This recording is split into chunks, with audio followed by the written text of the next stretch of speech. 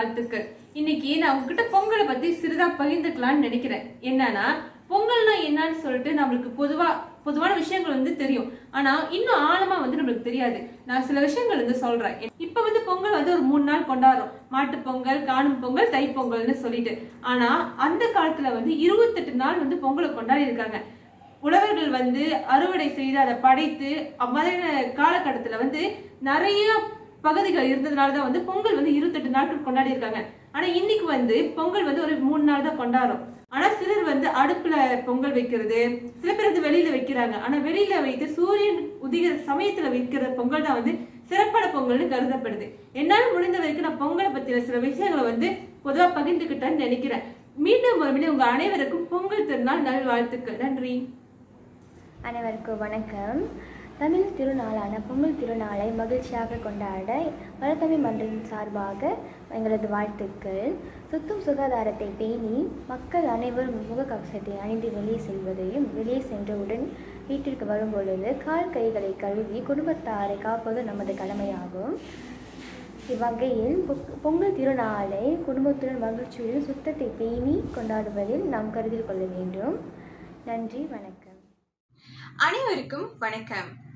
தை மாதத்தின் முதல் நாளையே நம்ம பொங்கல் திருநாளா கொண்டாடுறோம். இந்த பொங்கல் கொண்டாட்டத்தின் நான்காவது நாளை தான் காணும் பொங்கல் அல்லது கன்னி பொங்கல் அப்படின்னு அழைக்கிறோம். இந்த கன்னி பொங்கல் கொண்டாடுவதன் நோக்கம் என்னன்னா முற்காலத்தில் பெண்களை வீட்டிற்கு வெளியில் பார்க்குவது மிகவும் அரிதான ஒரு விஷயமாகும். எனவே தங்களது வீட்டிலும் கன்னி பெண்கள் இருக்கிறார்கள் என்பதை அடையாளப்படுத்தவே கோவிலில் சென்று பொங்கல் வைக்கும் வழக்கம் இருந்து வந்தது. அவ்வழக்கம் இன்னமும் சில இடங்களில் வந்து தொடரப்பட்டு வருது. அனைவருக்கும் இனிய தை திருநாள் நல்வாழ்த்து. உரித்தாகுக அனைவருக்கும் வணக்கம். முதல்ல அனைவருக்கும் என்னுடைய பொங்கல் தின நல்வாழ்த்து உரித்தாகுக சரி பொங்கல் அப்படின்னு சொல்லும் பொழுது பொங்கல் இரண்டாவது நாளாக கொண்டாடப்படுற பொங்கல் தான் வந்து மாட்டுப் பொங்கல்.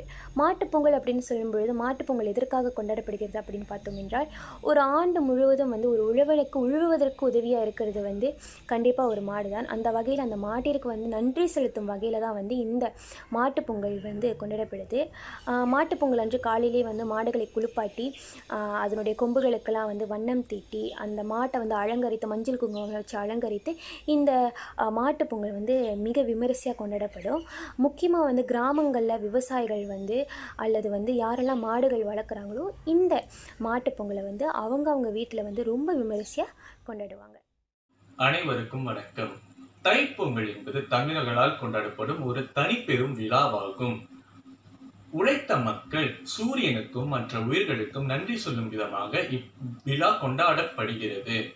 மேலும் ஆடி மாதத்தில் தேடி விளைத்த விளைச்சலின் பயிர்களை அறுவடை செய்து பயன்பெறுவதே தை மாதமாகும்.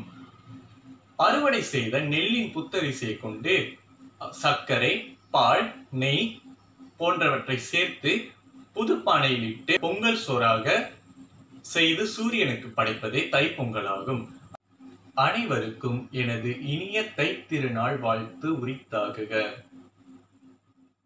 அனைவருக்கும் வணக்கம். பொங்கலை பற்றி பார்த்தாச்சு. இப்போ நம்ம வந்து போகி பண்டிகையை பற்றி பார்ப்போம். போகி பண்டிகை என்ன அப்படின்னு பார்த்தோன்னா மார்கழி மாதத்தோட இறுதி நாளாக வந்து போகி பண்டிகை கொண்டாடப்படுது. போகி பண்டிகைனா என்ன அப்படின்னு நம்ம கேட்கும்போது பலர் இடத்துல தோன்ற ஒரு கூற்று என்ன அப்படின்னு பார்த்தோன்னா பழையன கழிதலும் புதியன புகுதலும் அப்படிங்கிற அந்த கூற்று தான் எங்கேயுமே தோன்றும். என்ன அப்படின்னு பார்த்தோன்னா பழைய பொருட்களை வந்து அப்புறப்படுத்திட்டு புதிய பொருட்களை நம்ம வந்து வாங்கி வைக்கணும் அப்படிங்கிறது வந்து அந்த பலரும் வந்து சொல்லக்கூடிய ஒரு கூற்று.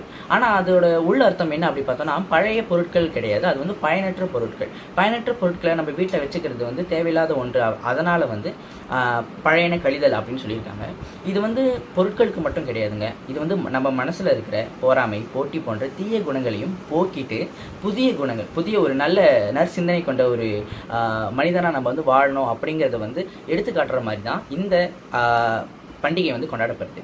அப்படி இருக்கும் பொழுது இந்த உயரிய கொள்கையை கொண்ட போகி பண்டிகையை இனிவரும் காலங்களில் அனைவரும் கொண்டாடணும். அவங்க வந்து பழைய பொருட்கள் இருக்கிறதோட நின்றாம அவங்க மனசுல இருக்க தீய குணங்களை போக்கி அவங்க வந்து பொங்கலை கொண்டாடணும்னு நாங்கள் வேண்டிக்கிறோம். நன்றி. இனிய பொங்கல் தின நல்வாழ்த்து உரித்தார்கள். தித்திக்கும் தமிழ் போல பொங்கட்டும் பொங்கல். பொங்கலோ பொங்கல். இப்பொங்கல் திருநாளானது சூரிய தேவருக்கும் உழவருக்கும் மாட்டுக்கும் நன்றி கூறும் அமைந்திருந்தாலும் இன்றைய கோவிட் நைன்டீன் காலகட்டத்திற்கேற்ப அனைவரும் இப்பொங்கல் திருநாளை உங்கள் குடும்பத்தினருடன் மகிழ்ச்சியுடனும் பாதுகாப்புடனும் கொண்டாடும்படி கேட்டுக்கொள்கிறேன். நான் தினேஷ் மனோகரன் வளர்தமிழ் மன்றத்தின் தலைவர் என்ற முறையிலும் வளர்தமிழ் மன்றத்தின் செயலவை உறுப்பினர்களின் சார்பாகவும் உங்கள் அனைவருக்கும் எனது மனமார்ந்த பொங்கல் திருநாள் வாழ்த்துக்களை தெரிவித்துக் கொள்கிறேன். இனிய பொங்கல் திருநாள் நல் வாழ்த்துக்கள்